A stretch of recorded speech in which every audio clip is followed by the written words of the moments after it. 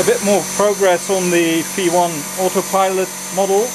The tail section is now finished and I also made this second section. Uh, so now they're actually both uh, fitted on these uh, these two frames so they basically now turn as one. So if I now turn the model from side to side you will see how the rudder is reacting to that.